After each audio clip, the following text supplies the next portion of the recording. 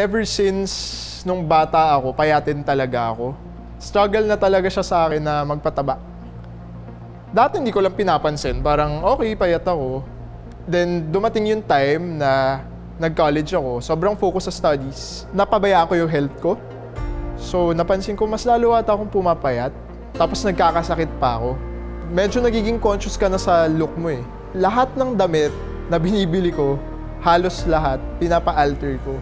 Dahil doon, hindi ako confident sa sarili ko. Parang yung simpleng bagay na ganun. Struggle siya kasi yung 0.5 kilograms na nag-gain, sobrang laki na nun sa amin kasi ganitong time yung iti-take mo, ganito yung kakainin, ganito yung lalamunin mo para mag-gain mo to.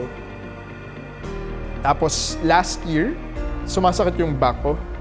Naging frequent yung pain. Akala ko kidneys. O, hindi ko inakala na sa buto pala, nag-test ako na positive sa isang autoimmune disease. Yung autoimmune disease na yun, eto yung spine mo, and nag-grow siya ng bones dun sa spaces na wala naman talaga dapat. And mas madalas ang nangyayari, the more na wala kang ginagawa, the more nasasakit siya. Ang mahal na mag-manage ng autoimmune disease. Tapos yung pain pa, yung emotional stress, parang sunod-sunod siya. Well, nag-focus ako sa, sa sarili ko. Sabi ko, kung hindi ko kaya tulungan yung sarili ko, hindi ako kayang tulungan ng ibang tao. So, kailangan ko mag-focus muna sa, sa self ko. Everything about myself. Physical, mental, emotional, spiritual. Nag-workout po ako sa fitness first. Lahat yung aspects na yun na-address ko dito. Spiritual, pag yoga ko. Mental and emotional, yung training with trainers, it toughens you.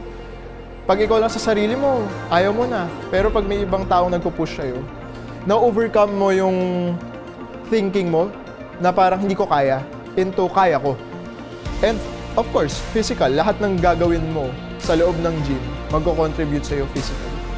It's important to look at challenges and problems as an opportunity for you to grow. It's not just problem, sakit sa ulo. Hindi lang siya ganyan. Parang, finally, may challenge sa buhay ko. Pag may problema ka, mas nag-grow ka eh. Mas lumalaki kang as a person. Mas nagde-develop ka as an individual. And for me, embrace those challenges, utilize that opportunity for you to grow. Mahirap siya, pero kailangan mo siyang pagdaanan.